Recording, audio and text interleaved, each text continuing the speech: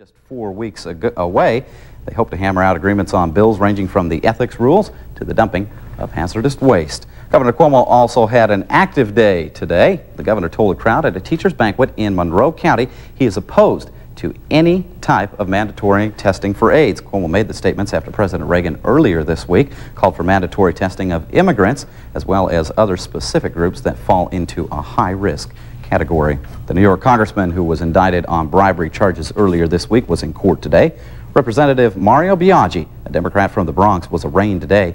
Biaggi has been accused of helping in the arrangement of bribes for government officials in the hopes of securing defense contracts. Biaggi denies having anything to do with those bribes. The car most likely to be stolen. We'll tell you what it is when we come back, and a word about cystic fibrosis from the local medical community.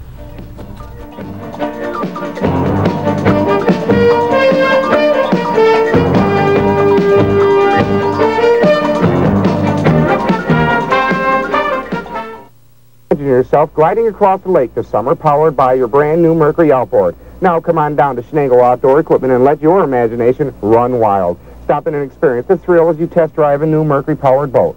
We have the Imperial V164 ski boat with 130 horsepower Mercury, just $8,900. Or check out the SW1612 pontoon with 9.9 Mercury outboard, only $59.95. We have several other styles and models to choose from. Stop in today. Schnagle Outdoor Equipment, Route 12 in Norwich. Chuck Woolery talks about Love Connection. The people that come on Love Connection hold nothing back. It seems that they have no inhibition at all. When I feel like somebody is trying to withhold information from me that I think could possibly be vital to what's going on, then I go hunting.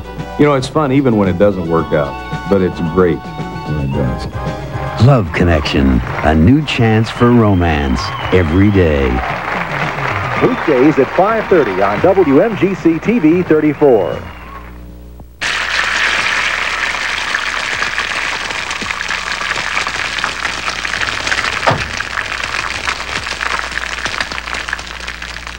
Hot enough to fry an egg, also hot enough to fry a dog's brain. Your dog can't perspire. To cool off, he has to pant. Even with the windows left partly open, the hot air he's breathing can cause brain damage or even death. On a hot day, be kind to your dog by leaving him at home. Even with today's advanced medical technology, those afflicted with the disease cystic fibrosis are still dying at an early age. But the search for a cure continues.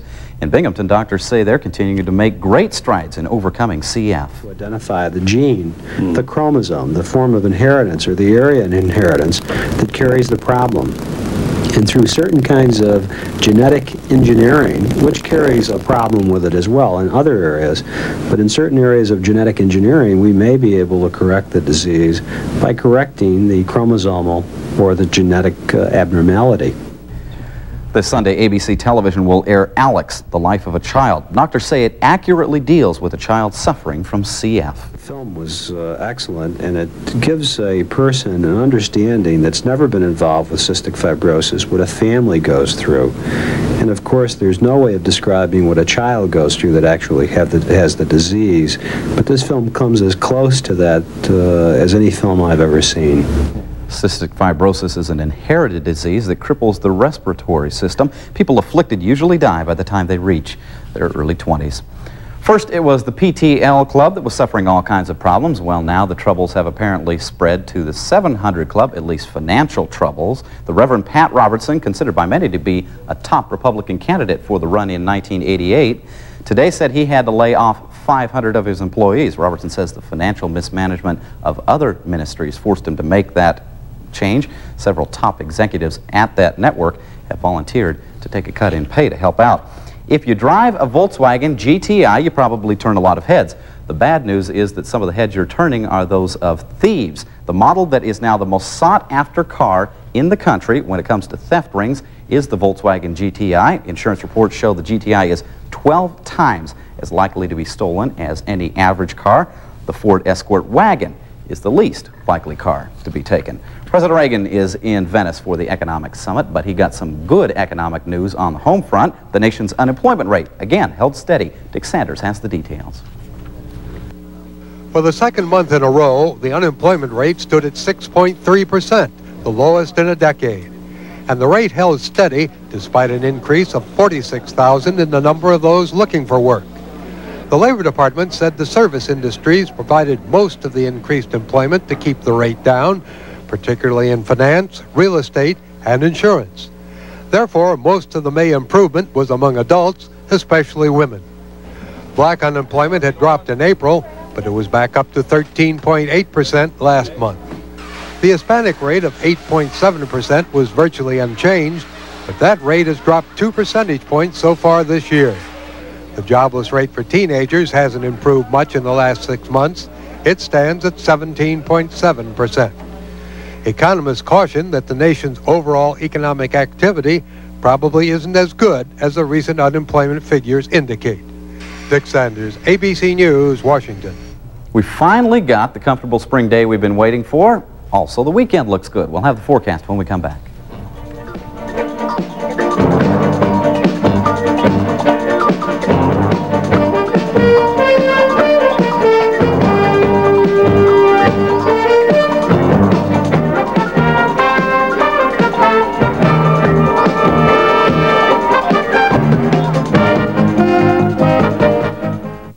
Chef Andy Shao on Dining Out Oriental Style at the Imperial Palace. 嗨，我是 Andy，皇家饭店的主厨。欢迎你们前来尝试比较我们的菜色种类繁多，例如有龙凤配、北京烤鸭或 You don't have to understand the language 以至有脆 to 皮 appreciate 全鱼 superb 陈皮 Oriental 牛 cuisine. 等等。 The Imperial 皇家 Palace 食泥有 in the Enwell 宾至如 Plaza.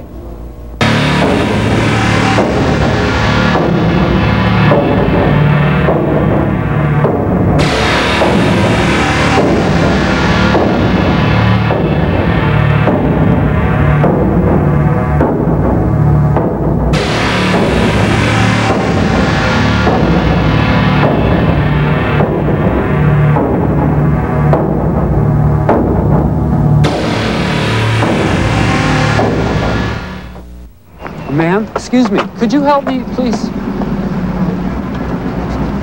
Sir, could you help me, please? My little girl, she needs blood. Could you help me? I'm sorry.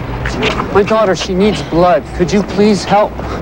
Somebody, somebody help me. Imagine if you had to ask for blood to save the life of someone you love. Next time the American Red Cross asks, give blood, please.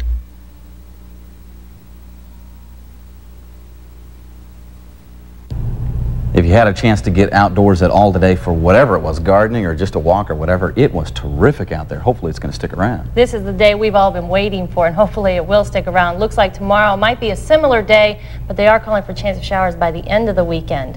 We'll get to that anyway. in a minute. right. Uh, weather tonight is sponsored by First Federal. As I said, today was just gorgeous. Not a cloud in the sky. If you looked hard, you couldn't probably find one. Current temperature right now is 69 degrees. The high was 70 degrees, so temperature stayed cooled while the sun came out. Low was about 50 degrees. The record high is 86, and that was set back in 1953. The record low is 38, set back in 1964. The humidity right now at a very comfortable 43%.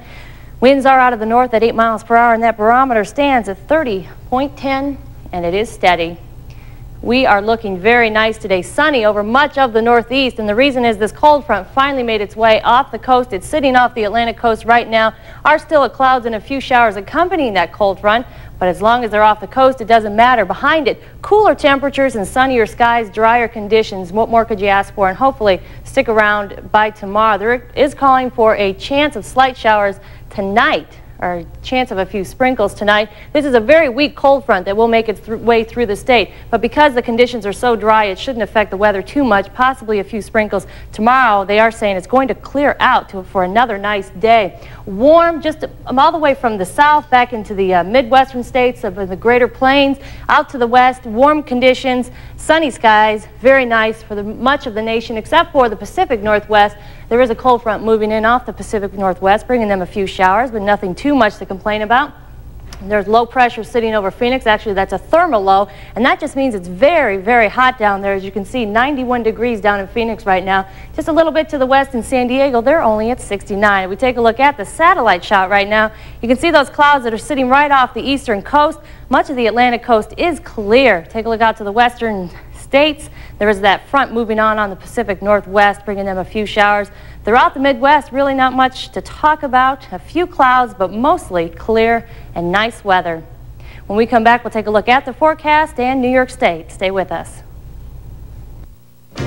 At First Federal, we're working harder to help you enjoy all the good things in life with a world of new opportunities for your home, your family, your financial future. When you're looking for a mortgage or refinancing, First Federal is your home advantage. Get low rates, quick approval, and choose the mortgage that best fits your needs. Find out more. Call your nearest First Federal branch or mortgage office today. Your home advantage with over 90 years experience in home financing. First Federal. Just a beautiful day across New York State today. Sunny skies and temperatures mostly into the 60s. A few areas in Pennsylvania reached into the 70s. And to the eastern parts of the state, they are still very warm. 80 degrees in New York City, 75 in Albany. But everywhere else, mostly into the lower to mid 60s. Taking a look at the forecast tonight, we are calling for clouding, cloud, cl let's get this right, cloudy skies. Uh, clouds will be moving in, and we are calling for a chance of sprinkles. The low will be about 50 degrees. And then tomorrow, sunny skies becoming partly cloudy by the afternoon, high about 70. Sunday, there is a good chance of showers, unfortunately, high about 70. Then on Monday and Tuesday as well, a chance of showers. Wednesday will be fair. Tomorrow morning, as you're waking up, partly cloudy skies and 58 degrees. So you definitely want to get outside tomorrow. Take advantage of the weekend on Saturday because it's going to turn cloudy and rainy by Sunday. All right, thank you, Darcy. A preview of the Belmont Stakes. We'll have that up next in sports. Also, the ailing Celtics will get a couple of days off to recuperate. Sports is next.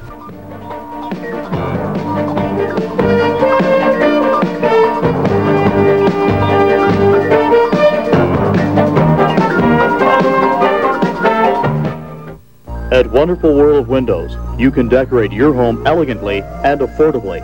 With free in-home decorating and many different styles and colors, you owe it to yourself to compare prices. There's no obligation. Call 1-800-422-1480 for custom window treatments at reasonable prices. That's 1-800-422-1480 for Wonderful World of Windows.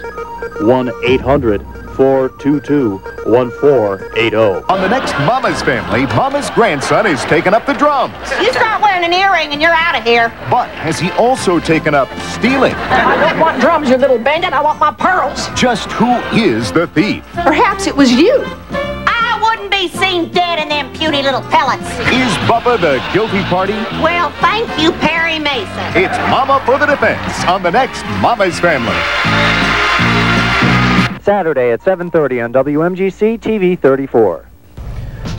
Mike kept the night off. All right, apparently we were going to go to a commercial. We're going to stay with us for a while, though. Mike Catalana has the man up. Darcy Thornton graciously filling in on sports. We're going to talk about the Celtics, first of all. Last night Of came course. out. Everybody said they would come back a little rejuvenated. They didn't I said that. Mike said me. they wouldn't. I said they probably would come back, but hopefully they are returning home in the next game. Maybe they will be a little more rejuvenated. I don't know. Or major surgery or something. The Celtics did play better than they did in the first series game, but it still wasn't good enough. Now all the Celtics can do is pray for a home court advantage. Last night at the Forum, the Lakers came to play, and they lived up to their fast break reputation. Early on in the first quarter, it's Robert Parish fighting for the layup. Celtics started strong, but it was L.A. the rest of the way. The Lakers' James Worthy had an impressive night, scoring 23 points. He sails past the alien Kevin McHale for the layup. Michael Cooper scoring one of his six three-point plays, by the way, an NBA record. McHale misses and the Lakers rebound, and on the fast break to the other side, Kareem eventually gets the ball, and he's in for the stuff. LA leading by 12. Larry Bird, though, not giving up early in the third period. He cuts the Lakers lead to 18. K.C. Jones not looking, or is looking a little worried, as he should, as Byron Scott. Again, the Lakers steal. He takes it all the way down court for the layup and the score. Actually, this stuff, and the Lakers could not be stopped. Magic Johnson shot his block, but he gets his own rebound and scores two of his 22 on the night. Again, LA gets the loose ball, as it was all night long, passing down court again for the score. Kareem getting a little excited on the bench. Not often you see him with that kind of reaction. Finally, Cooper with the last of his three-point plays. Larry Bird not looking too happy.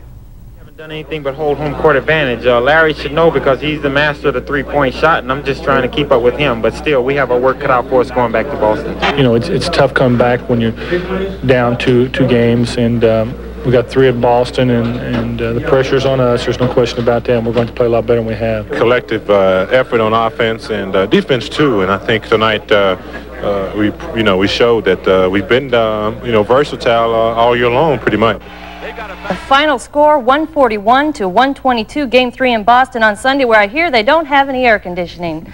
The long-awaited debut of Mets pitcher Dwight Gooden takes place tonight. Gooden spent most of April in drug rehabilitation. Coach Mel Stottlemyre is warning fans not to get too excited or expect too much from Gooden tonight. The Mets host the Pittsburgh Pirates before an expected sellout crowd at Shea Stadium tonight. We'll have highlights at 11.